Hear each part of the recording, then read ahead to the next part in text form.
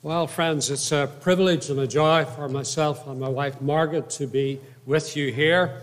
Uh, can I begin by wishing each and every one a very happy and Christ blessed 2022? We've come through some difficult years, but the Lord has been with us through it all, and He has promised never to leave us nor forsake us.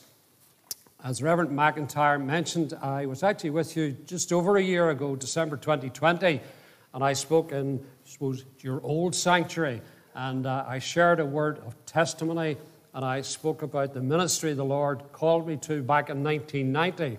I formed Take Heed Ministries. Uh, if it's of interest, twice a year I issue a ministry update letter in the middle of the year and in December. And there's a few copies of the December 2020 ministry newsletter in the table in the foyer. Uh, this is what it looks like. It folds over, and there's a yellow insert inside. So, if you would like to know what the Lord has had me doing over the past year, well, then do please take one of those as you are leaving. I would imagine that probably over the last lot of weeks, there have been many sermons, possibly even preached here, focusing on the advent of the Lord Jesus Christ. And I'm sure many ministers have turned to passages of the Old Testament, uh, such as various passages in Isaiah and also in Micah, or else they've turned to the early chapters of Matthew and Luke's Gospels to focus upon the birth of the Lord Jesus Christ. Well, for many, the Advent season doesn't really finish until the 6th of January, so we're still, in the eyes of some, in the Advent season. And I want to turn our thoughts this morning to a portion of Scripture in the Old Testament which I think is suitable and applicable to the birth of the Lord Jesus Christ. But I have to confess, I've never heard anyone else preach on it along those lines. So, if you would turn with me, please, to the Old Testament, to the book of Deuteronomy, Deuteronomy chapter 18. And I want to read from verse 9 uh, and uh, up to verse 15, and then also verse 18. So, it's uh, Deuteronomy chapter 18, beginning to read at verse 9. Uh, the situation is that the children of Israel have been brought out of the land of Egypt they're on their way to the promised land, and God is going to give them some instructions through Moses. And this is what we find in verse 9. God says to them, When thou art come into the land which the Lord thy God giveth thee, thou shalt not learn to do after the abominations of those nations. There shall not be found among you anyone that maketh his son or his daughter to pass through the fire, or that useth divination, or an observer of times, or an enchanter, or a witch, or a charmer, or a consulter with familiar spirits, or a wizard, or a necromancer. For all that do these things are an abomination unto the Lord. And because of these abominations, the Lord thy God doth drive them out from before thee. Thou shalt be perfect, or upright, sincere, with the Lord thy God. For these nations which thou shalt possess hearkened unto observers of times and unto diviners. But as for thee, the Lord thy God hath not suffered thee so to do. And then God says to the people, The Lord thy God will raise up unto thee a prophet from the midst of thee, of thy brethren, like unto me, unto him ye shall hearken. And then in verse 18, God says to Moses, I will raise them up a prophet from among their brethren like unto thee, and will put my words in his mouth, and he shall speak unto them all that I shall command him. Amen. And we pray the Lord's blessing upon his word.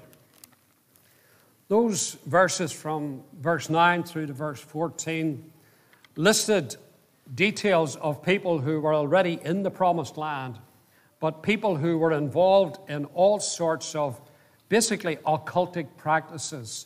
They believed that through engaging in these practices or uh, consulting with those who practiced them, that they could contact the other world, the spirit world, And their hope was that in doing that, they would get hidden power and hidden knowledge. That's what the word occult means. It means hidden.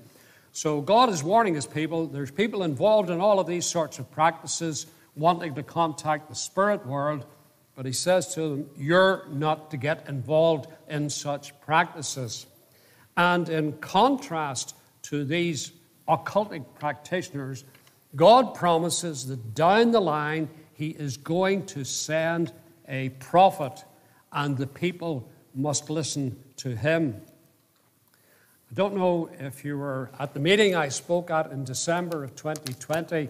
You may recall that as I shared my testimony, I told of how in 1984 I had gone on holiday to visit my brother in Canada, and whilst there, I had gone down into a bookstore and I'd bought a few Christian themed books, even though I wasn't a Christian at the time and hadn't been at church for about 20 years. But I saw a couple of kind of fanciful titles uh, about a particular author's view of how the world would end. And I read them very quickly. And then I bought another book by the same author called The Promise. And I actually showed you this when I was with you in December 2020. Uh, and this was a very different book.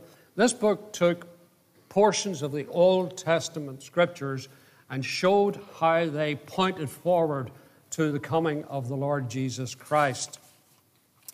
In the foreword of the book, it says this The basic premise of this book is that it's not only possible that Jesus was Messiah, but that the only fair minded conclusion that can possibly come from an honest and open investigation of the historical and biblical evidence is that he is indeed Messiah.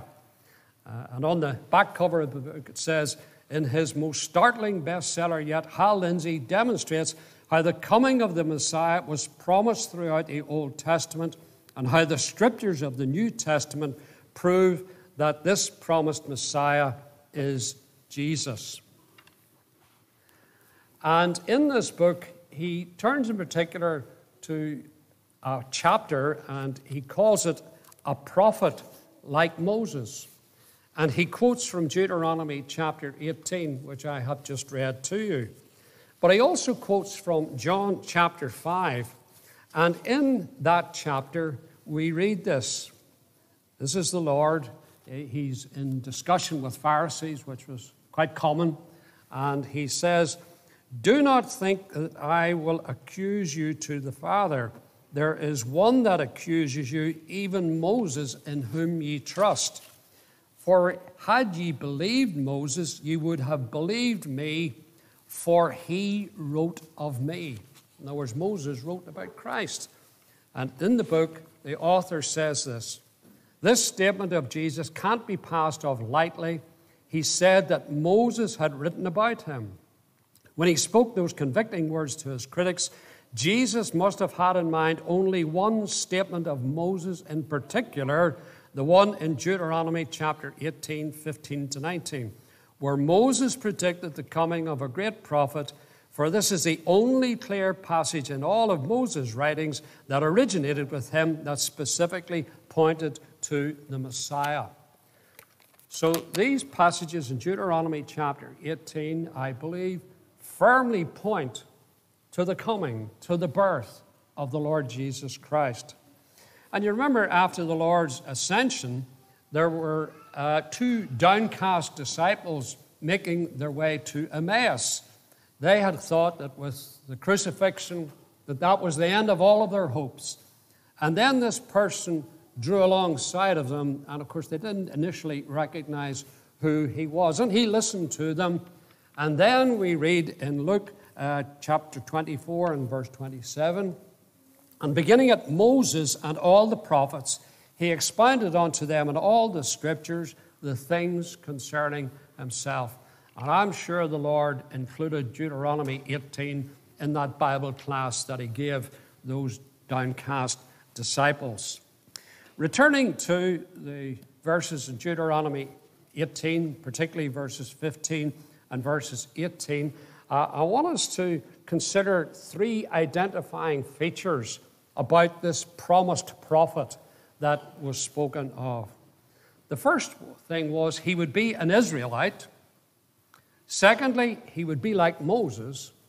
And thirdly, he would be a spokesman for God. First of all, an Israelite. Well, believe it or not, Islam claims that this promise in Deuteronomy chapter 18 predicts the coming of Muhammad. Well, time doesn't allow me to refute that ridiculous suggestion. But it's clear that it was going to be an Israelite, one from the tribes of Jacob. And of course, Muhammad was an Ishmaelite. So there is no way that this promise could have referred to Muhammad. Uh, Moses himself, of course, was uh, a Levite. We find back in Exodus chapter 2 and there went a man of the house of Levi and took to wife a daughter of Levi. And the woman conceived and bare a son. So that was the birth of Moses. So Moses was himself an Israelite. He was of the tribe of Levi.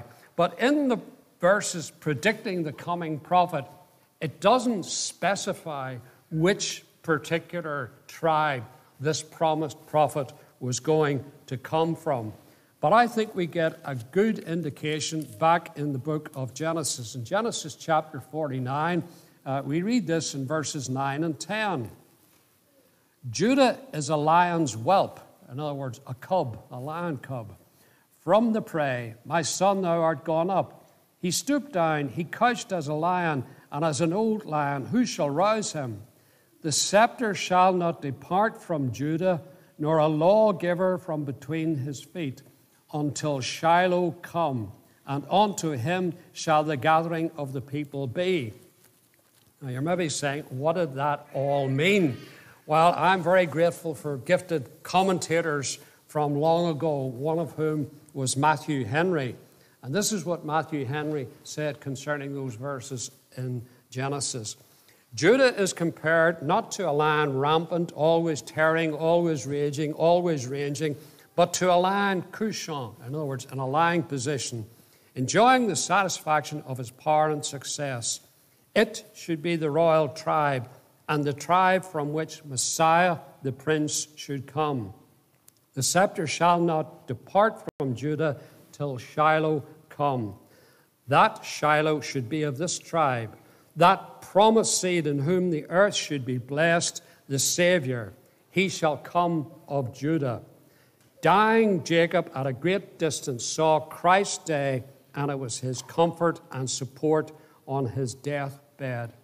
So, in these verses, it says that the promised uh, prophet is going to come from the brethren of the children of Israel who were assembled before Moses.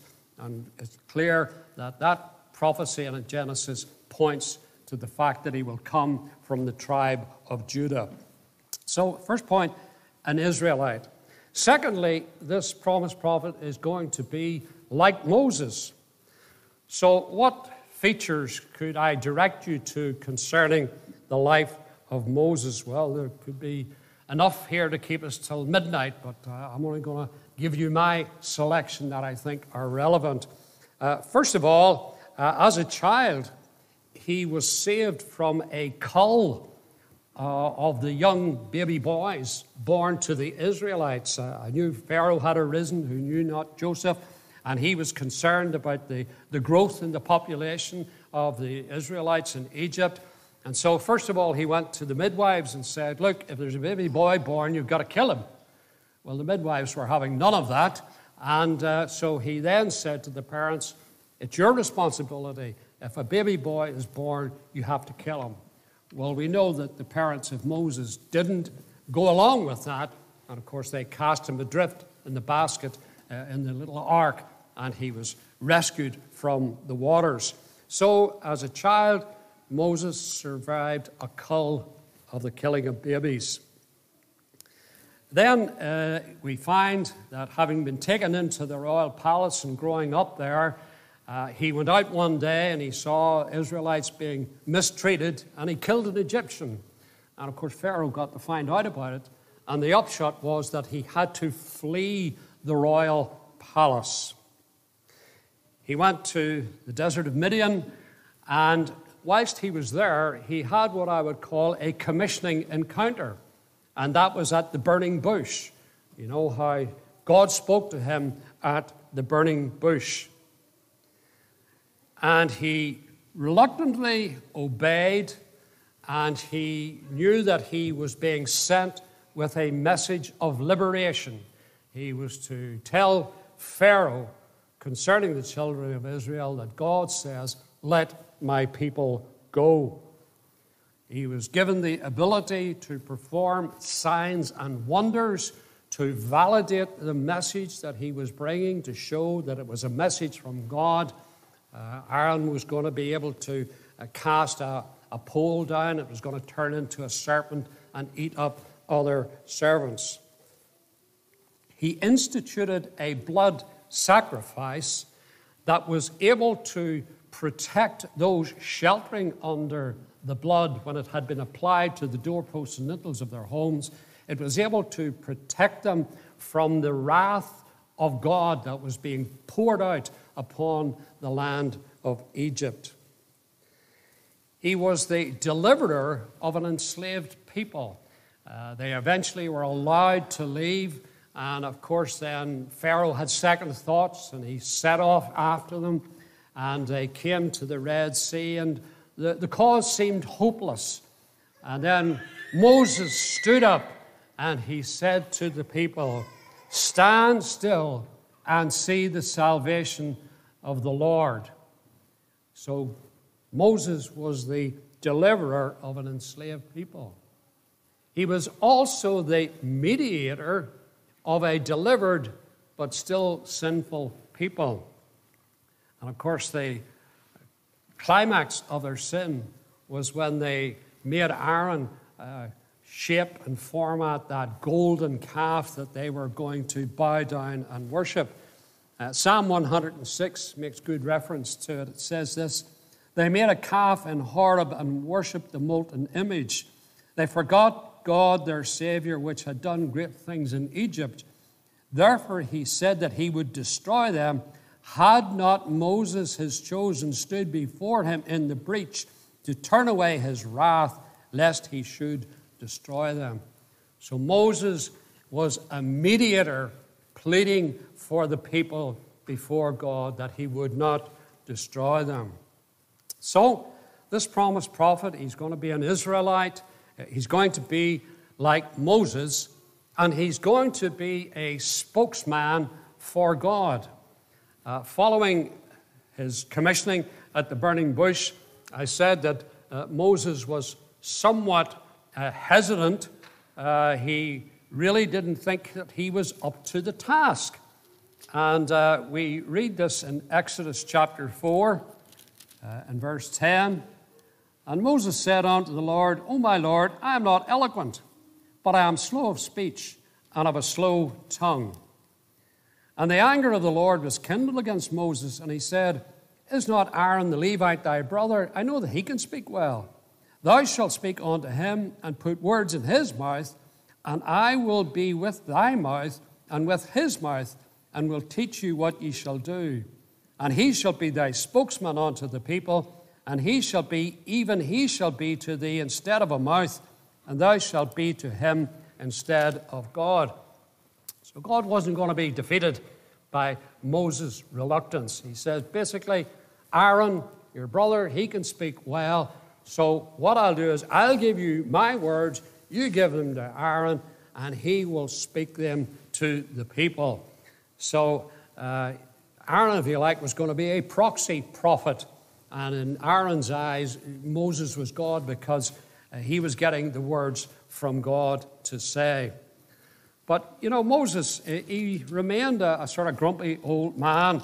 Uh, he was still saying, I'm, I'm not up to this.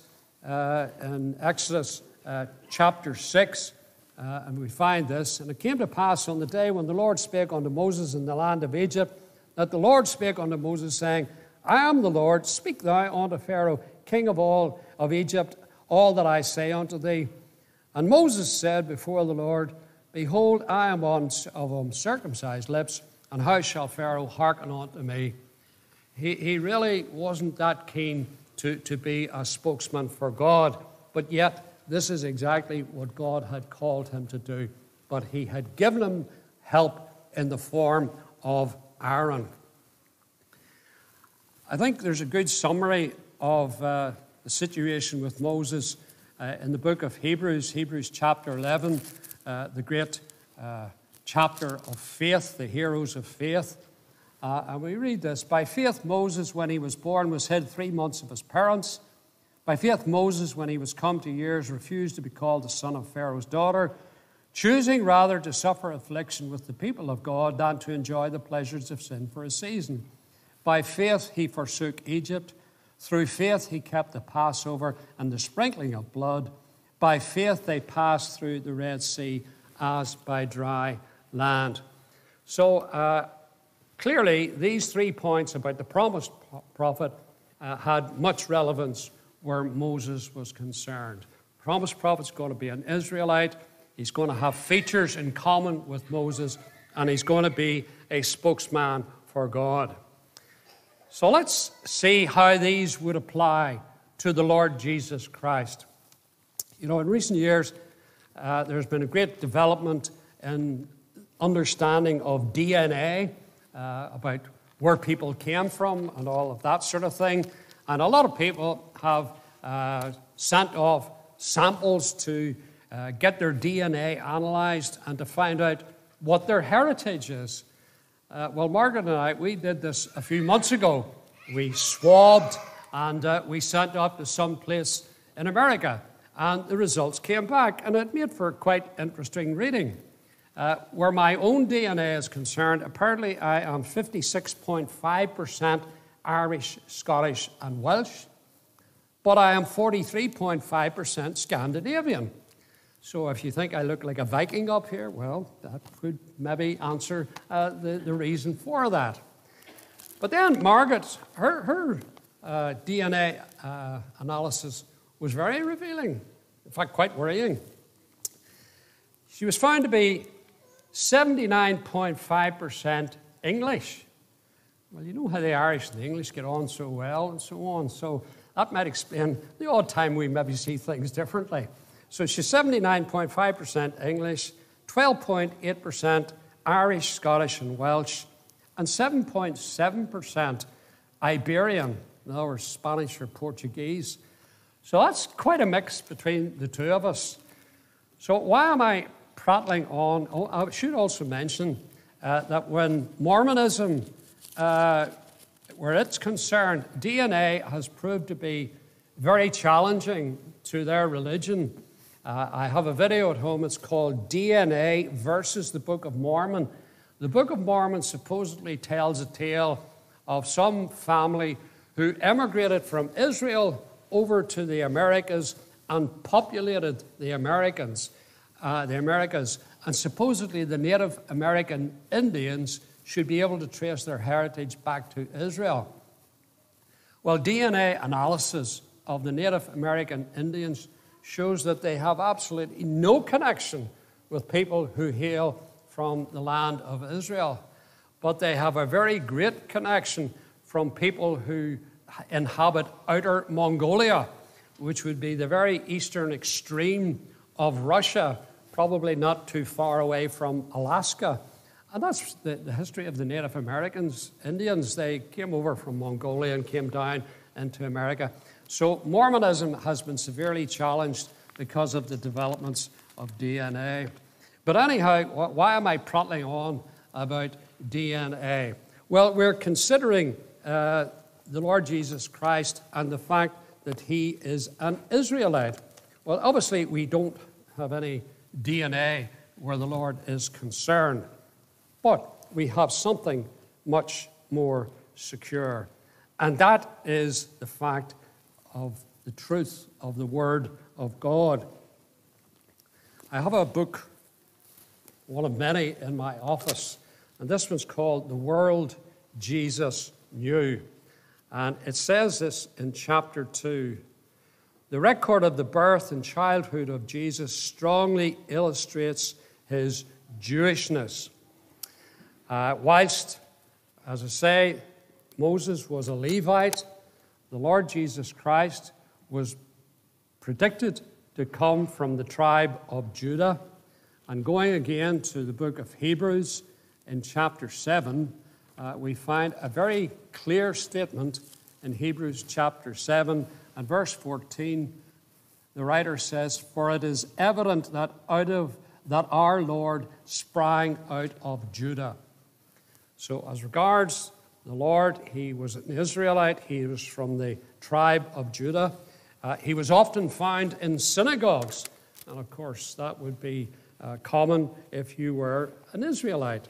Again, going to the world Jesus knew, it says synagogues are mentioned 67 times, and 43 of these occasions are connected with Jesus.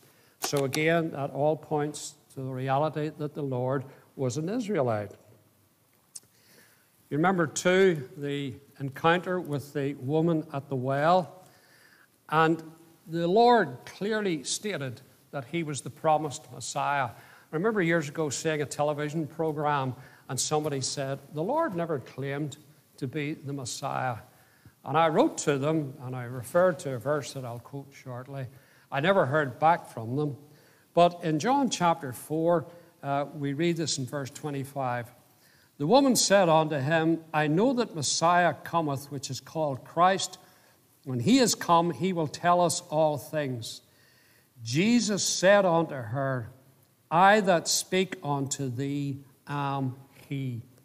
He clearly identified himself as the promised Messiah. You remember, too, when he was on trial, he was brought before Pontius Pilate. And when Pilate found out that the Lord was a Galilean, he immediately tried to ship him off to Herod to have Herod deal with the legal aspects because he was an Israelite and Pilate didn't want to get involved in that. However, uh, Herod didn't waste too much time in sending him back to Pilate. And so Pilate was returned, uh, had the Lord returned to him, and eventually he sanctioned the crucifixion of the Lord Jesus Christ. But he also insisted that something would be nailed onto the top of the cross. And that something said this Jesus of Nazareth, King of the Jews. And he was challenged by religious leaders, and he said, No, that is staying there. Jesus of Nazareth, King of the Jews. So the Lord was most certainly an Israelite. Now, what about being like Moses? Well, I listed various features concerning Moses, and I want to see how these are either uh, similar to the Lord or contrasting to the Lord. Well, first of all, uh, by comparison, the Lord, just like Moses, survived a cull of the killing of young boys. Uh, you remember the wise man had been with Herod, and off they went to Bethlehem. And uh, Herod says, Well, when you find out more, come back to me. And of course, they didn't.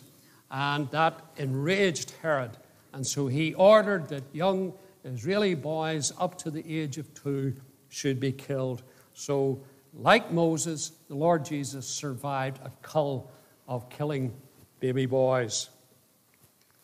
Moses was forced to flee a palace, but the Lord Jesus Christ voluntarily left the splendor of the palace of heaven. He was in the form of God, but he thought it not robbery to be equal with God, but made himself of no reputation, and took upon him the form of a servant, and was made in the likeness of man. And being found in fashion as a man, he humbled himself and became obedient unto death, even the death of the cross. The Lord left the splendor of the palace of heaven voluntarily, contrasting with Moses, who had to flee the royal palace.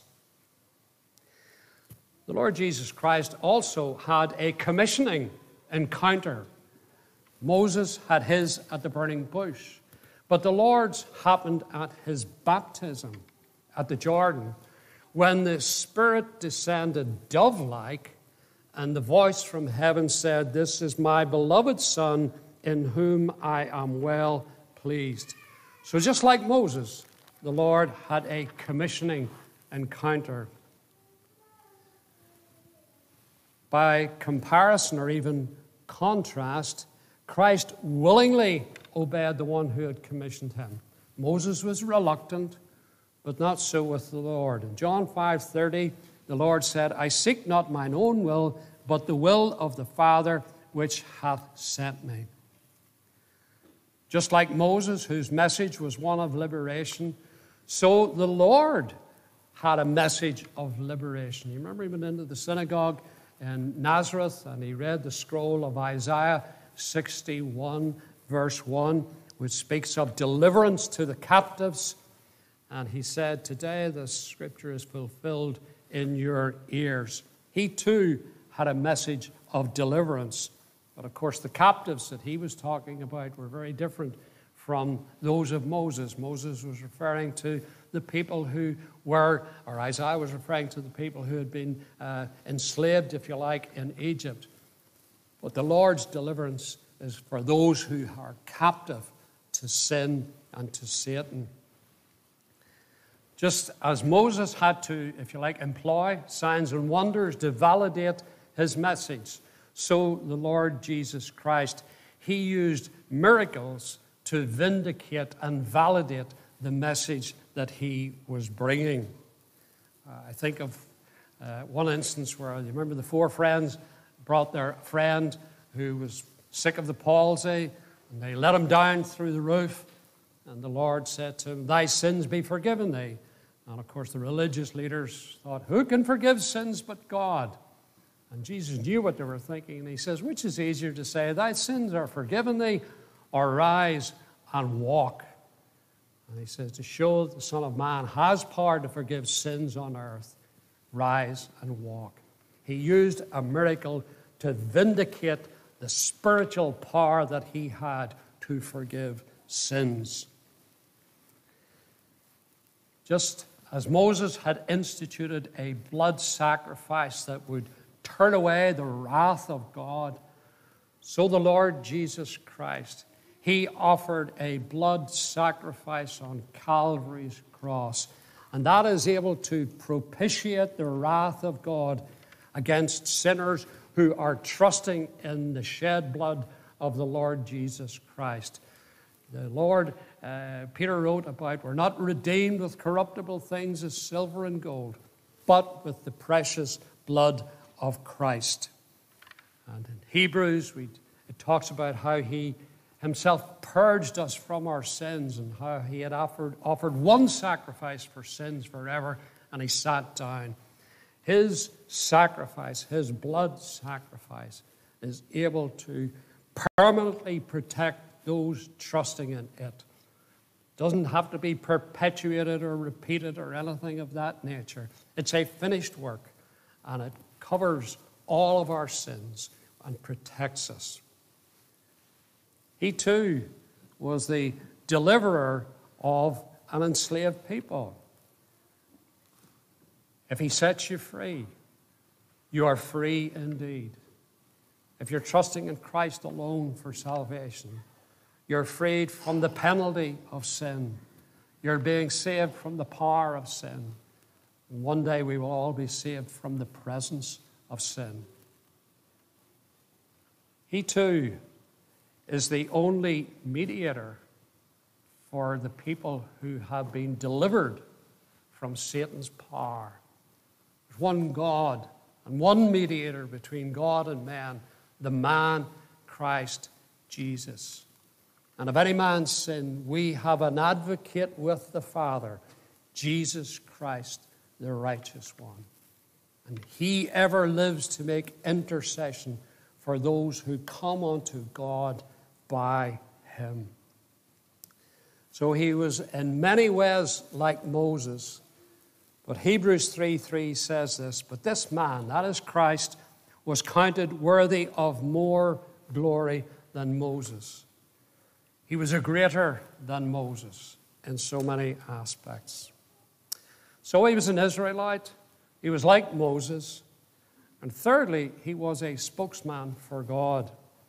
In John 1 and verse 18, we read this No man has seen God at any time. The only begotten Son who is in the bosom of the Father, he hath declared him. And according to Vine's expository dictionary of New Testament words, that word declared, it means he has unfolded him in teaching.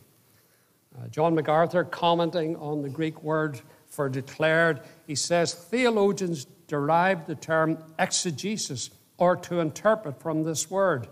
John, that is the Apostle John, meant that all that Jesus is and does interprets and explains who God is and what he does. So, in short, Jesus was a spokesman par excellence for God. Never man spake like this. Hebrews 1, the opening verses says, God hath in these last days spoken unto us by his Son. And at the transfiguration, some of the words at the commissioning of the Lord at his baptism were repeated, where God said, This is my beloved Son, in whom I am well pleased. But God also added, Hear ye him. So, the one whose incarnation we have just celebrated was the promised prophet of Deuteronomy chapter 18. And there were a number of people on the earth at the time of the Lord who actually recognized that reality. In John 1:45 we read this, Philip findeth Nathanael and saith unto him, We have found him of whom Moses in the law and the prophets did write, Jesus of Nazareth. And then in John chapter 6, the Lord had performed the miracle of feeding 5,000 plus people, and there was food left over, and it was gathered up in baskets. And we read this Then those men, when they had seen the miracle Jesus did, said, This is of a truth that prophet that should come into the world. And of course, Peter in Matthew 16 recognized the same reality. He said, Thou art the Christ, the Son of the living God. So, this prediction in Deuteronomy 18 of a promised prophet who would be an Israelite, who would be like Moses, and who would be a spokesman for God, it certainly found its fulfillment in the incarnation and subsequent life of the Lord Jesus Christ. Well, what can we learn from this by way of personal application? Well, I think the first thing we have to acknowledge and rejoice in is that God keeps his promises. Uh, even back in Genesis 3, when sin had entered into the world, in verse 15, there was a promise by God of someone who would come and defeat Satan. That was in Genesis 3. And then in Galatians chapter 4 and verse 4, Paul wrote of when the fullness of time was come, God sent forth his Son. I, I hope you'll bear with me as I uh, fancifully speculate on something that's not in the Bible, but it's purely for illustration purposes. And please understand it like that. it's like as if when God created everything, at the beginning, up in heaven, he also created two egg timers. You know what an egg timer is? I, I, brought this one with me. I use it quite regularly to make sure that my boiled egg is perfectly done. But there is sand in it, and when you turn it like this, it trickles through. So the idea is that when God created everything, he created two egg timers in heaven, one being bigger than the other. And so the smaller one, the sand is trickling through. And when the last grain of sand came through, that was the first fullness of time. When the fullness of time was come, God sent forth his Son. But in your mind's eye, you can fancifully speculate that there's a bigger egg timer still in heaven, and the sands are still trickling through. But one day in the future, the last grain of sand will trickle through, and there will be a future, final fullness of time when the Lord will return, and another promise of God will be kept. Because when the Lord ascended into heaven and the disciples were gazing up, angels said to them, Why are you looking up? This same Jesus that has been taken from you will come again in like manner. The return of the Lord Jesus Christ is promised, and it will be at that future fullness of time. And of course, we don't know how long or how short that will be. But we do have in our midst people that the Apostle Peter wrote about, people who scoff at the idea that the Lord Jesus Christ will one day return. Peter wrote of scoffers saying, Where is the promise of his coming? All things continue as they were. There are billions around the world who do not believe that the Lord Jesus Christ will one day return. But we know on the authority of the Word of God that he most certainly will return. So we're trusting in that promise of the future coming of the Lord Jesus Christ. And we should not only be trusting, we should be watchful. We should be watchful people.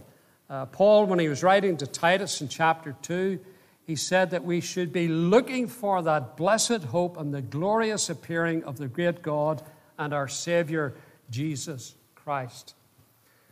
It's said of Horatius Bonar, I don't know how true or otherwise this is, but many people say it's true, that when Horatius Bonar was going to bed at night, he would pull the curtains and he would say, Maybe tonight, Lord.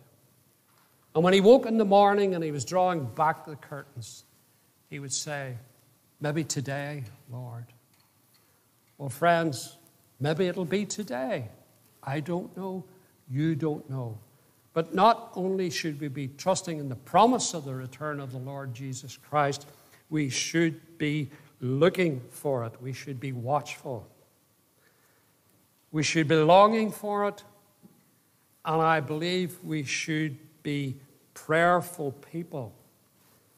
Because in the penultimate verse of God's Word, the Apostle John said, Even so, come, Lord Jesus. We're living in difficult days. We have entered upon a new year, and uh, there's no obvious sign that it's going to be any easier than the past two years. But we can rely on the promises of God. And just as Christ came forth the first time when the time was right, so he will again come forth when God chooses the moment. But until then, as Christians, we have responsibilities. We have to occupy, we have to stand fast, we are to be his ambassadors. We are to be his witnesses. We are to be salt in a corrupt world. We are to be light in a spiritually dark world. So that is the calling to us for the year 2022 to be faithful followers and witnesses for the Lord Jesus Christ. And, as Paul wrote on one other occasion, look up for your redemption draweth nigh. Maybe today, Lord. Maybe tonight, Lord. But whatever, may we be found faithful in the year 2022. May God bless His word.